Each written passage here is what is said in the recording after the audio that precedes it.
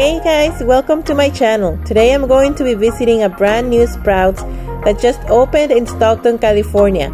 It's a pretty big store and there is a decent amount of people for a Sunday afternoon. The first thing that caught my eye was this chirimoya fruit that I always get whenever it's available at Sprouts. It's an exotic fruit that tastes like custard apple and it's $8.99 a pound. I then went to the pasta section and found a lot of gluten-free options like this grain-free spaghetti but I ended up getting the grain-free penne for $4.99. We then got this whole wheat organic spaghetti for $1.99. And then there was this juice over here that caught my eye but I thought it was too pricey at $11.99 the bottle.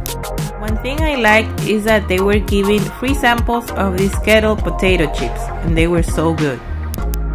I have been enjoying this brand lately, it's called Simple Mills and they have plant-based snacks. Today I'm going to be trying these chocolate cookies for $6.99 and they only have one left of these almond flour cookies at $5.29. We're also going to be getting this almond breeze almond milk.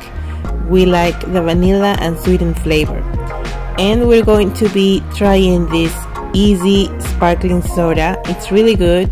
We're going to be trying the mango flavor today. And as usual I am going to be getting a Caesar salad from the salad section. I don't see that they have any discounts on this salad so I'm just going to be taking one today. I'm also going to be getting this sparkling blush Martinelli.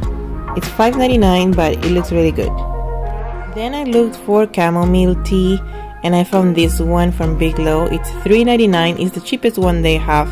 So I'm going to be getting this one as well.